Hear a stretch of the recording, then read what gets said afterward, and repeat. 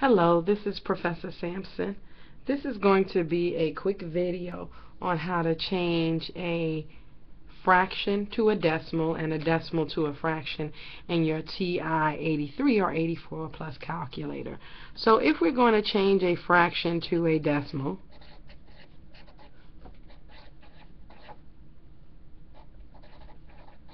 so for example, if we're going to change let's say 11 over 5,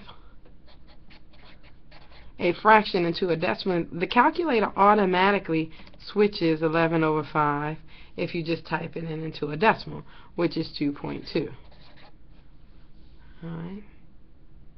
If I had a decimal, in essence 2.2, and I wanted to change that decimal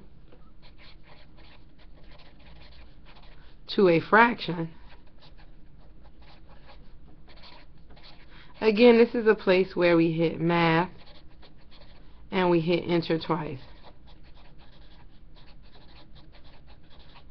Alright, so math, enter, enter, changes any decimal into a fraction. You can also use, if you have the upgrade, the upgrade menu. So if you look at the upgrade menu, menu in alpha y equals, you see there number 4 you can change a fraction to a decimal. So let's say if I had a fraction, um,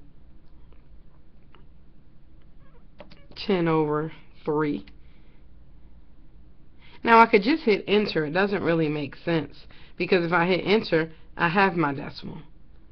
But for some reason, if I'm in the fraction menu and I want to put in the fraction, I want to do this extra step. I don't know why and then I want to go to my fraction menu and I want to change my fraction to a decimal.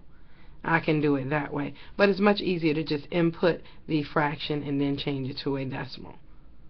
Again, if you want to change a fraction to a decimal, you just input the fraction and hit enter and that will return you a decimal. If you want to change a decimal to the fraction, you put in the decimal and you hit math enter enter and that will change your decimal into a fraction.